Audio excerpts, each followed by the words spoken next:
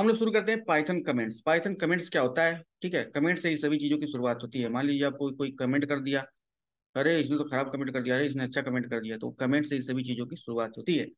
Comment करता क्या क्या है? Explain Python code Python code को एक्सप्लेन कर देता है, ठीक है? Make the code more readable code को मोर रीडेबल अच्छे से पढ़ना हो अगर आपको तो कमेंट अगर कर देंगे तो आप कोड के बारे में अच्छे से जान सकते हैं, समझ सकते हैं भाई कि अगर कोड एक इसके बारे में है prevent execution when testing code ठीक है? अगर आप टेस्ट कोडिंग की टेस्टिंग कर रहे हैं कोड का तो आपका एग्जीक्यूशन नहीं होगा। आप कमेंट दे देंगे वहाँ पे तो। कमेंट स्टार्ट विथ है हैश साइन आप इंस्टाग्राम में तो बहुत सारे हैश साइन यूज़ करते होंगे। तो वैसे ही कमेंट में हैश टैग का यूज़ किया जाता है। देखिए अब एक पहला एग्ज़ाम्पल है। ये मैंने एग्ज़ाम्पल लिखा है। यहाँ पे मैं प्रोग्राम भी रन कर, करवाऊँगा। उम्मीद करता हूँ दोस्तों आपको समझ में आ रहा होगा। दोस्तों आप भी एक मिनट के लिए वीडियो रोक करके जब मैं प्रोग्राम रन करूँगा तो अपने आप खुद ही प्रोग्राम रन करिए और रन कीजिए। देखिए कितना मज़ा है ठीक है? अब देखिए, पहला है कि दिस इज़ ए कमेंट अब देखिए, इसको मैंने आगे हैश टैग दे दिया है, इस लाइन के आगे, ठीक है?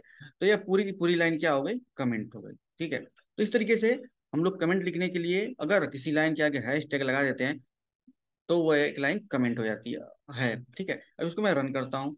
यहाँ पे जब मैं रन करूँगा तो देखिए हेलो वर्ड यहाँ पे लिख गया, यानी कि प्रिंट हेलो वर्ड हमने दिया था इसको तो हेलो वर्ल्ड आपका यहाँ पे लिख गया, ठीक है? अब मैं यही प्रिंट करवाना चाहता था, ऊपर जो कमेंट दिया था, वो नहीं प्रिंट करवाना चाहता था, ठीक है? अब देखिए दूसरा है प्रिंट हेलो वर्ड उसके आगे मैंने कमेंट लिख दिया दिस इज़ ए कमेंट तो ये भी एक कमेंट ही हो गया। जिस लाइन के आगे भी अगर हैश टैग अगर लिखा होगा तो वह लाइन कमेंट हो जाएगी। चलिए इसको भी रन करवा कर देख लेता हूँ।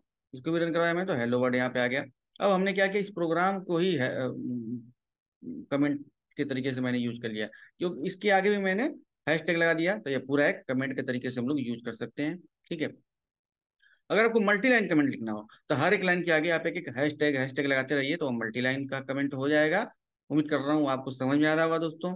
आप अपने, आप भी इसका प्रैक्टिकल कीजिए ताकि आपको ज़्यादा समझ में आएगा, ठीक है?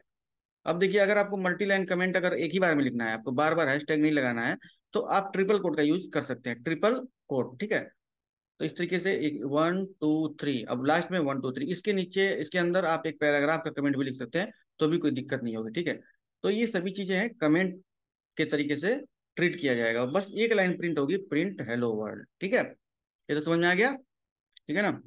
वेरिएबल क्या होता है? अभी हमने कमेंट देखा आप थोड़ा वेरिएबल के बारे में देख लेते हैं। दोस्तों, ये छोटी छोटी चीज़ें हैं जो आपको जानना बहुत आवश्यक है। दोस्तों, आप कई सारे ऑनलाइन रिसोर्स भी पढ़ सकते हैं। आप चेट जीपीटी का भी सहारा ले सकते हैं पाइथन के लिए। आप गूगल का भी सहारा ले सकते हैं। आजकल तो रिसोर्स ज़्यादा है और पढ़ने वाले कम, ठीक है? तो अगर आप अच्छे से इसको सीखना चाहें तो आपके लिए बहुत सारी कोड हर जगह अवेलेबल है। तो देखिए X equal to five Y equal to his girlfriend ये हमने एक एक हमने इंटीजर लिया और एक हमने स्ट्रिंग लिया। अब इन दोनों को मैं प्रिंट करवाऊँगा। देखिए, यहाँ मैं कोड रन करूँगा तो ये प्रिंट हो जाएगा। X equal to five and Y equal to his girlfriend इस तरीके से ये प्रिंट हो गया, ठीक है? अब अगला देख लेते हैं। X equal to four and X equal to Sally ठीक है? अब यहाँ पे क्या किया? वेरिएबल ने ओवर कर दिया। ओवर मतलब आपको पता ही होगा, ठीक है? पहला वैल्यू के स्थान पे दूसरी वैल्यू आ जाती है। एक्स चूँकि small X equal to four है और small X equal to Sally भी है ठीक है? दोनों स्मॉल एक्स की वैल्यू एक का इंटीजर एक की सैली है। तो बाद में जो है स्ट्रिंग आया है इसलिए स्ट्रिंग वाली वैल्यू पहले वाली वैल्यू को ओवर कर, कर देगी। अगर पहले स्ट्रिंग लिखा होता बाद में इंटीजर लिखा होता तो भी बाद वाला पहले वाले को ओवर कर देता ठीक है ना? अब देखिए दूसरा क्या है? If you want to specify the data type of variable this can be done with casting casting का यूज़ करके हम लोग डेटा टाइप का स्पेसिफाई करते हैं, ठीक है?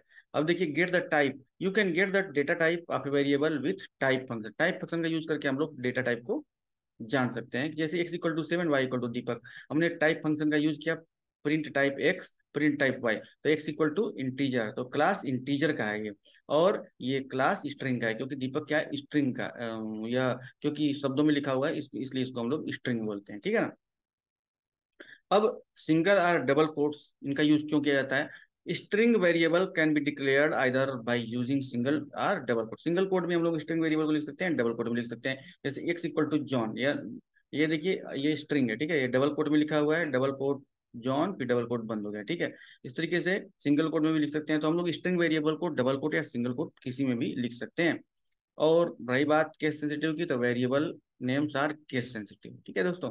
A equal to four A equal to Sally अब यहाँ पे ए की वैल्यू ओवर नहीं होगी, इसको मैं अगर प्रिंट करवाना चाहूँ तो ये मतलब रन हो जाएगा, लेकिन ओवर ये आपका नहीं होगा, ठीक है? अब यहाँ पे देखिए ओवर हो गया था, क्यों? क्योंकि यहाँ पे small x equal to four था और small x equal to Sally भी था। इसलिए यहाँ पे वैल्यू आपकी ओवर हो गई थी। तो दोस्तों चैनल में लास्ट तक बने रहने के लिए आपका बहुत बहुत धन्यवाद।